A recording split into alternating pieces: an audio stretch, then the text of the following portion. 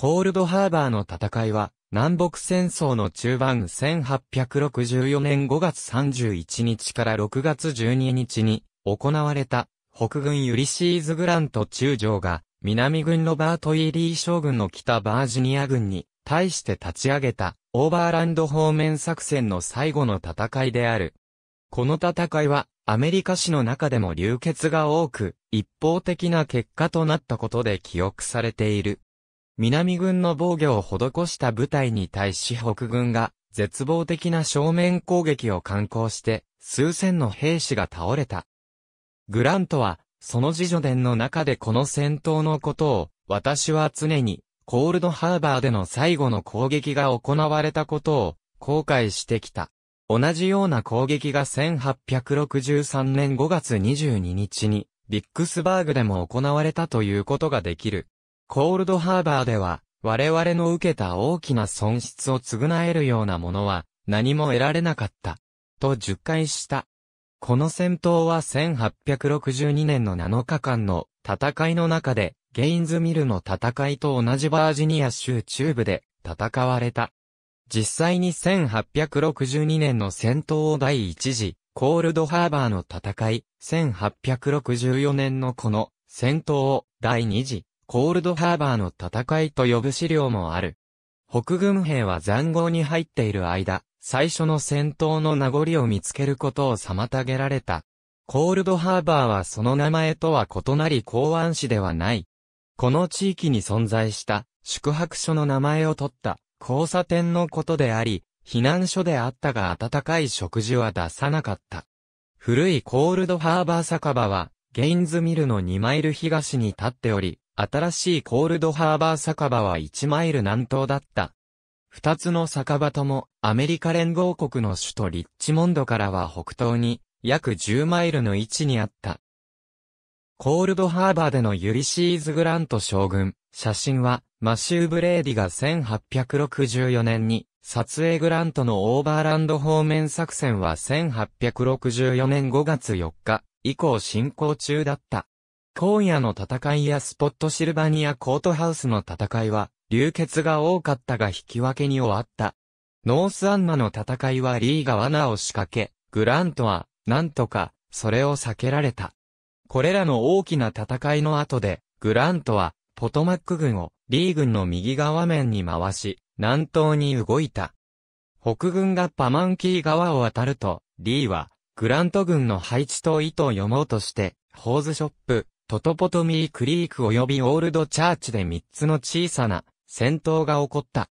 オールドチャーチの戦いから、リーは北軍の騎兵隊が古いコールドハーバー酒場の交差点を狙っていると判断した。そこからは、リッチモンドとリー軍の後方地域へのアクセスが容易な道路網が出ていた。リーは、バミューダハンドレッドからグラント軍の方向に援軍が向かっているという報告を受けた。この援軍は、ウィリアム F., ボールディ、スミス少将の第18軍団1万6000名であり、グラントの要請によって、ベンジャミン・フランクリン・バトラー少将のジェームズ軍から引き抜かれていた。この軍団は、ジェームズ川を下ってからヨーク川を遡り、パマンキー川に至った。もし、スミス隊が、ホワイトハウスランディングから古いコールドハーバー酒場まで、真西に動けば、ベセスダ教会の3マイル南東のグラント軍左翼につき、北軍の前線が南に大きく伸びて、南軍の右翼に対処できることになるはずだった。リーは自軍にも援軍を当てにできた。アメリカ連合国大統領ジェファーソン・デイビスが PGT ボーリガード将軍に指示して、ジェームズ川下流からロバート F. ホーク少将の師団7000名を派遣させた。リーはこれら追加部隊を得て、この方面作戦のこの時点までに受けた損失2万名に入れ替えることによって、北バージニア軍は5万9000名となり、ミードとグラントの10万8000名と対抗することになった。しかしこの勢力の格差は、以前あったほどのものではなかった。グラント軍の援軍は、多くが、ワシントン DC の守備隊から引き抜いた徴兵間もない、新兵やかなりの数の砲兵隊であり、不評戦術については、比較的経験が足りなかったのに対し、リー軍は活動していない前線から移動させた古参兵が多く、その兵士たちは厚く防御が施された残壕に入ることになっていた。オールドチャーチで戦った騎兵隊同士は5月31日も対峙し続けた。リーはマシュー・バトラー準将の騎兵隊を補強するために、フィッツヒュー・リー少将の一個騎兵師団を派遣し、古いコールドハーバー酒場の交差点を確保させた。北軍アルフレッド・ T.A. トーバート準将が南軍への圧力を増すと、リーはリチャード・ H・ アンダーソン少将の第一軍団にトトポトモイクリークから右に動き騎兵隊を支援するように命じた。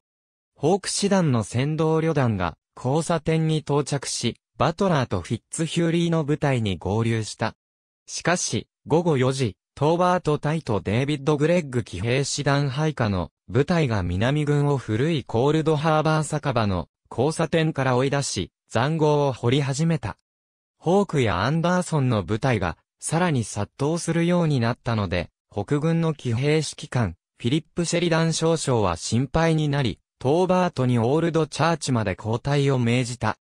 グラントは引き続き古いコールドハーバー酒場の交差点に興味を持ち、ホレーショライト少将の第6軍団にトトポトモイクリークにあった右翼から交差点方向に移動するよう命じた。またシェリダンには何が何でも交差点を確保するよう命じた。トーバートは午前1時に戻り、南軍がトーバートの交代に気づいていなかったことが分かって、ほっとした。リーの6月1日の作戦は、古いコールドハーバー酒場の交差点にいる北軍の小さな騎兵隊に対して新しく集中させた不評隊を使うことだった。しかし、その部下たちは正しく歩調を合わせなかった。アンダーソンは、その攻撃作戦で、ホークの師団と一体化せず、北軍の守備隊も統制が取れていなかったので、その大軍団の攻撃がうまくいくまで、ホーク師団は攻撃しないという理解をさせたままだった。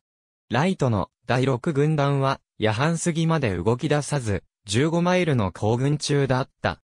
スミスの第18軍団は誤って数マイル離れたパマンキー川沿いのニューキャッスルフェリーに派遣されており、トーバート隊を支援するために古い、コールドハーバー酒場に到着した時は間に合わなかった。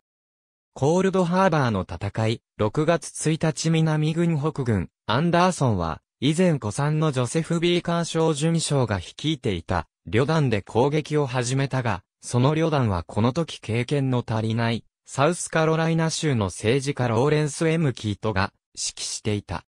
キート隊は残壕に入った北軍、ウェズリー・メリット準将の騎兵隊に接近した。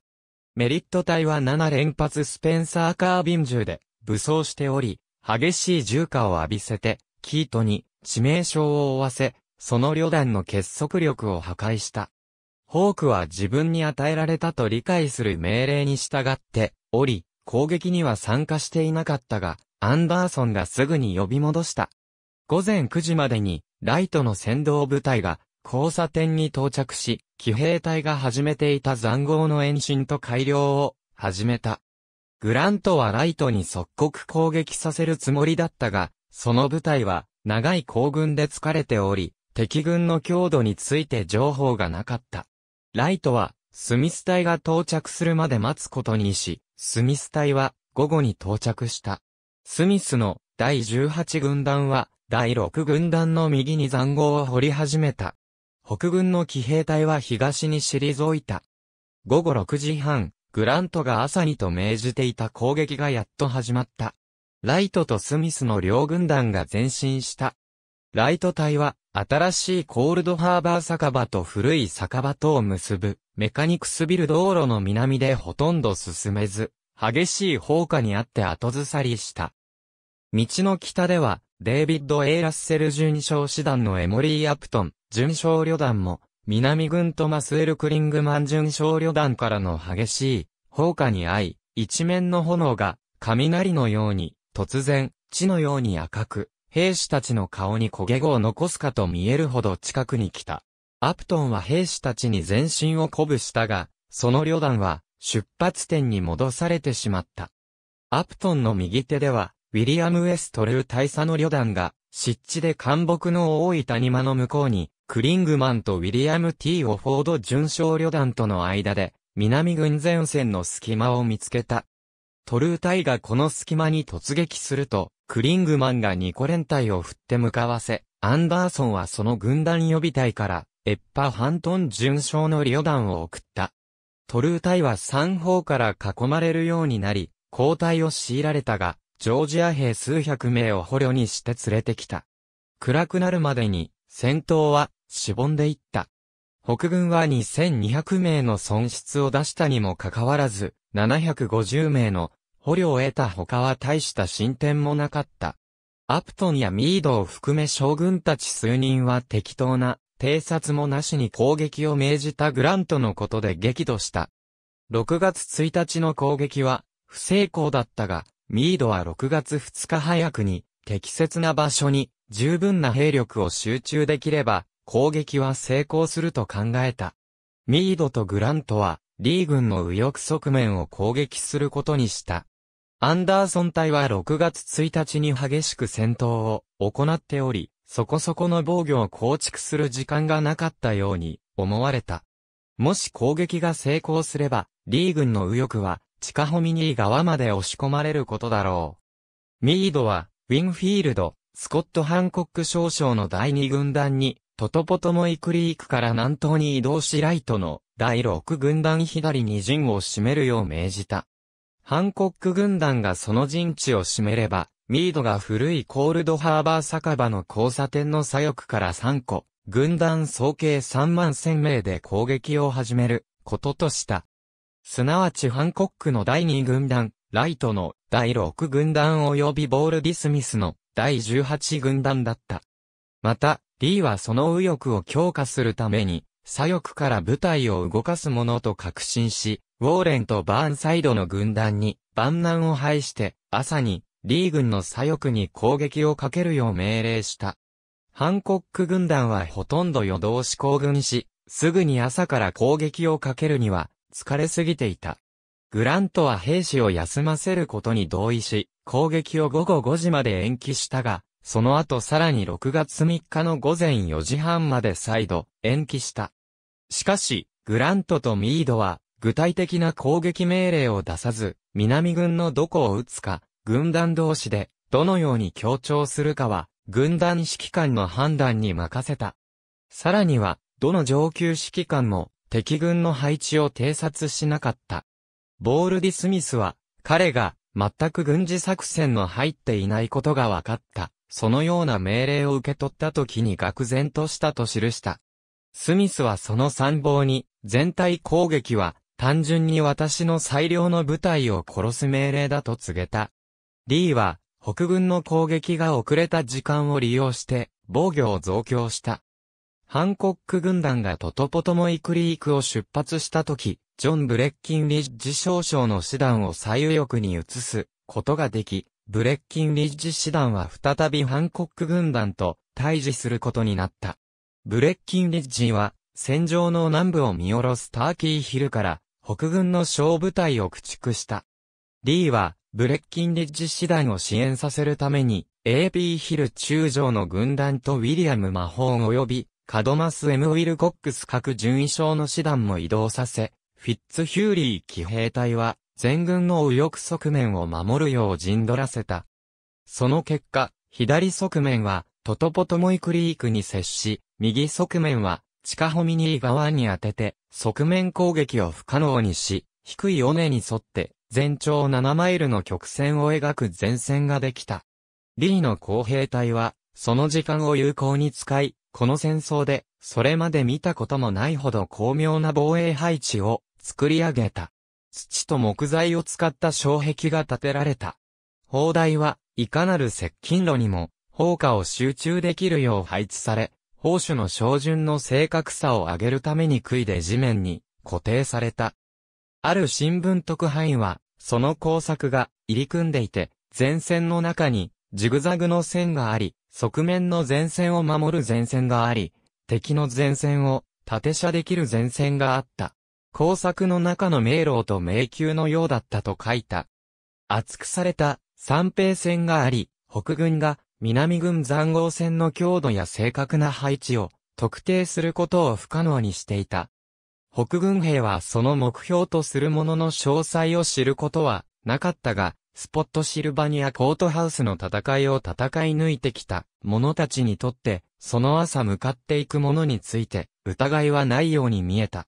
多くの者は名前を書いた紙を制服の内側にピン止めし、遺体が識別できるように考えた。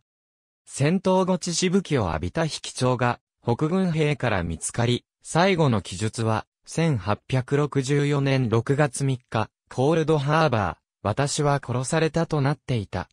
戦場の北の外れでは、北軍のガバヌは、ウォーレン少将の第5軍団が、ベセスダ境界近くでアンブローズ・バーンサイド少将の第9軍団と合流していた。南軍左翼のジュバル・アーリー中将の軍団が前進し、ウォーレン軍団の散兵を何人か捕虜にした。夜を通して軽い交戦が続いたが、その後の主会戦には影響しなかった。ある時点で、バーンサイドは、サンディグラブ道路に沿ったアーリー軍団の防御のない側面を攻撃するよう忠告を受けたが、バーンサイドは躊躇した。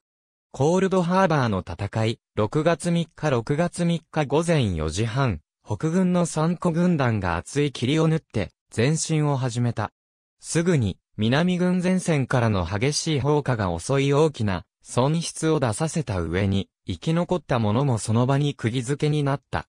前線の様々な場所で結果は異なっていたが、北軍の前進全体が撃退されて、1862年のフレデリックスバーグの戦いにおけるメアリーズハイツ以来となるほとんど一方的な北軍の敗北となった。北軍左翼でこの日の最も実行を挙げたのは、ハンコック軍団がブレッキンリッジの前線を突破し、白兵戦の中で南軍病を残壕から排除したことだった。数百名を捕虜に取り、大砲を4門捕獲した。しかし、近くにあった南軍の砲台からその残壕に砲撃が行われ、そこは北軍にとって死の罠となった。ブレッキンリッジの予備隊がフランシス・シーバーロー準将師団の部隊に反撃し、撃退した。ハンコック軍団の他の進行師団である、ジョン・ギボニ師団は、湿気の多い地盤で混乱して、南軍の激しい砲火の下を進めず、ニコ旅団が失われた。ギボニ師団の一人は偵察の欠如についてこぼしており、我々は、それが殺人であり、戦争ではないと感じた。言い換えれば、まさに重大な誤りが行われたと記した。中央では、ライトの軍団が激しい砲火によって動けなくなり、それ以上前進しようとはしなかった。やはり大きな損失を出した6月1日の攻撃の繰り返しだった。いつもなら攻撃的なエミリー・アプトンまでが、その師団がこれ以上進むことは不可能と感じた。この地域の南軍防衛隊は自分たちの陣地に重大な攻撃が行われていると認識していなかった。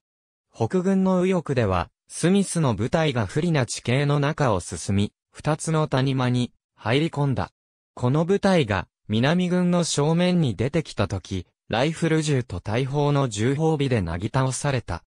ある北軍士官は、兵士は前進するにつれて前かがみになり、あたかも大暴風の中を進んでいるようであり、兵士の列が次から次に押し倒されていくブロックかレンガの列のように倒れた。と記した。ある南軍兵は、ダブルキャニスター砲の虐殺を恐ろしく血塗られた仕事と表現した。スミス軍団に対する砲火は、右隣のウォーレン第5軍団が前進を躊躇しており、南軍の砲手がウォーレン軍団に向けていたものをスミス軍団に集中させたので、予想以上に激しいものになった。戦場の北端での唯一の行動は、ジュバル・アーリー軍と向き合っていた、バーンサイドの第9軍団によるものだった。バーンサイドは強力な攻撃を始めさせたので、南軍の散兵を圧倒したが、最初の工作戦を通ってしまったと勘違いし、午後に予定していた次の前線に動く前にその軍団を停止させ部隊編成をやり直した。午前7時、グラントはミードに攻撃の成功したところに活発につけ込むよう忠告した。ミードは3個軍団の指揮官たちそれぞれに、隣の軍団の動きに注意を払うことなく、同時に攻撃するよう命じた。しかし、それが全てだった。ハンコックは前進に反対する忠告をした。スミスは攻撃の繰り返しを過剰な人命の浪費と呼んで、再度の前進を拒否した。ライトの部隊はそのライフル重火を増したが、その場所を動かなかった。12時半までに、グラントは、自軍の敗北を認めた。グラントはミードに宛てたメモで、軍団指揮官たちの意見は、攻撃が命令されても、成功の見込みが少ないと言っている。あなたは当座これ以上の前進を中止する指示を出してよい。と記した。北軍兵は南軍の前線の前で釘付けになっており、コップや銃剣を使って残壕を掘り始めた。時には即興の土森の一部として死んだ戦友の体を使った。ミードは不可解にも翌日自分が攻撃を指揮したことを自慢した。しかし、その功績はお粗末だった。軍団指揮官は戦場を検査するようにというグラントからの命令があったにもかかわらず、その偵察は手ぬるく、ミードは戦闘前も、その最中にも適切に監督できていなかった。自軍の第2軍団全軍と第18及び第9軍団の一部、約2万名についてのみ動機づけできたが、成功に導くために必要と分かっていた兵力を集中できなかった。その部隊は連携のまずさもあって、大きな代償を払った。その朝の損失の推計値は、北軍側で3000名、ないし7000名であり、南軍側は1500名に届かなかった。戦闘後の埋葬部隊、1865年撮影グラントと、ミードは、コールドハーバーでそれ以上南軍に攻撃を仕掛けなかった。グラントは、ワシントンに電報を打ち、決定的な有利は得られなかったことと、その損失は大変ではないと伝えたが、後にその兵士たちを戦場に送ったことを修正公開したと告げた。対戦する両軍は9日間の残壕戦で睨み合いを続け、ある場所では数ヤードしか離れていなかった。狙撃手が継続的に動き、多くを殺した。北軍砲兵隊は八門の迫撃砲で南軍に対する砲撃を行った。南軍は北軍陣地に対し24ポンド榴弾砲や弧を描く砲弾を撃ち込んで応じた。もはや大規模の攻撃はなかったが、この戦闘全体の損失は6月3日単比の数字の倍ほどになった。残壕は厚く、誇りっぽく、惨めなものだったが、前線の間の方がもっと悪かった。数千の負傷した北軍兵が食料や水あるいは医療介護もなく苦しんでいた。グラントは、負傷兵を引き取るために、正式の休戦を求めることが戦闘での敗北を認めたことになるために躊躇した。グラントとリーは6月5日から7日に文書を行き返させたが合意には至らず、グラントが正式に2時間の休戦を求めたとき、不幸な負傷者の大半には遅すぎ、この時は膨れた死体になっていた。グラントは、この判断ミスについて、北部の新聞から広く批判された。6月4日、グラントはバーンサイド軍団をまたでクインクリークの背後に動かして予備隊とし、ウォーレン軍団はスミス軍団と連携するように作法に動かし、その前線を約3マイルまで短くすることで引き締めた。6月6日、アーリーがバーンサイドの新しい陣地を探ったが、通行できない湿地のために前進できなかった。グラントはこの方面作戦で、今一度、リー軍に対して手詰まりであり、追加攻撃は答えでないことを認識した。先へ進むために三つの行動を計画した。一つ目は、シェナンド渓谷で、デビッド・ハンター少将が、南軍に対して進行中であり、リー軍の補給を止めることで、シェナンド渓谷に援軍を派遣せざるを得ない状況に、することだった。二つ目は、6月7日に、シェリバンの指揮で、騎兵隊を派遣し、シャーロッツビルの近くで、バージニア中央鉄道を破壊することだった。三つ目は、リー軍の前面から軍を退き、密かに、ジェームズ川を渡ることだった。リーは、はじめの二つの行動には、期待通り反応した。コールドハーバーからブレッキンリッジの師団を引き抜き、ハンターの動きをかわすためにリンチバーグに派遣した。また3個師団ある騎兵隊のうち2個師団をシェリダン隊の追跡に送った。しかし、グラントがジェームズ川を渡るかもしれないと予測していたにも、かかわらず、それが起こった時はビッグ知りた。6月12日、ポトマック軍はついに交戦状態を解き、南東に移動してジェームズ川を渡り、リッチモンドの南にある重要な鉄道の結接点、ピーターズバーグを脅かした。コールドハーバーの戦いは、南北戦争で、リー軍が得た最後の勝利であり、その損失という点では最も決定的なものだった。北軍は、無益な攻撃を仕掛け、12日間で1万名、ないし1万3000名を失った。5月の初め以来北軍の損失合計は5万2000名以上となり、リー軍の3万3000名を大きく上回った。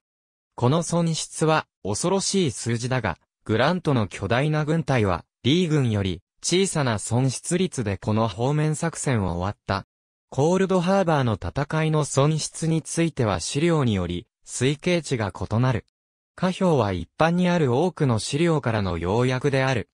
何人かの著者は6月3日の主海戦における損失を推計し、北軍は約7000名、南軍は1500名ということで一致している。ゴードン・レアは、グラントのオーバーランド方面作戦について、現代の結出した歴史家と考えられており、損失のリストを詳細に検討し、2002年の著書、コールドハーバーで反論を出版した。6月3日朝の攻撃で北軍の戦死、負傷及び不明を合わせて3500名から4000名に過ぎないとし、北軍全日では約6000名、南軍は1000名、ないし1500名とした。これは恐ろしい損失には違いないが、リー軍がアンティータムの戦い、チャンセラーズビルの戦い及びピケットの突撃で、被った損失よりも小さく、マルバーンヒルの戦いに匹敵するものである。この戦闘は、北部州で、沿線気分を高揚させた。グラントはそのまずい決断ゆえに、不器用な肉屋とまで呼ばれた。生き残った部隊の士気も下げさせた。しかし、この方面作戦は、グラントの目的に貢献し、コールドハーバーでの攻撃が愚かだっただけに、リーが罠にはまった。リーは、ピーターズバーグに向けてほとんど、グラント軍を攻撃せず、戦争の残り期間防御を施した残壕戦の背後で、リッチモンドを守ることで過ごした。南部人はその状況が絶望的であると認識したが、リーの頑固な抵抗で、エイブラハム・リンカーンに対する政治的反動を生み、1864年の大統領選挙ではもっと平和を志す候補者に敗れることを期待した。しかし、9月のアトランタ占領によって、それらの望みは崩壊し、アメリカ連合国の終焉は時間の問題となった。この戦闘中、バーネットの酒場は、北軍の病院として使われた。北軍兵は、バーネット夫人が取っておいた水晶の皿を除いて、あらゆる貴重品を持ち去った。2008年、南北戦争保存信託は、コールドハーバー戦場跡を、その最も危険にさらされている、戦場跡10カ所のリストの中に入れた。リッチモンド地区の開発の波は大きく、買っては少なくとも7500エーカーあった。戦場跡も現在は約300エーカーが保存されているだけである。アイヒャー、P685、ジェーンズ、P152、レア、バトルオブコールドハーバー、P38、AB ジェーンズ、P154、AB ジェーンズ、P156、レア、バトルオブコールドハーバー、P42、レア、コールドハーバー、ピアニッシモ、360から61、レア、バトルオブコールドハーバー、P45 レア。バトルオブコールドハーバー、ピアニッシモ45から46レア。バトルオブコールドハーバー、P47、レア、バトルオブコールドハーバー、P48、レア、コールドハーバー、P386、リッチモンドゼンナウウェブサイト、CWPT モーストエンデンジャードバトルフィールズ2008。ありがとうございます。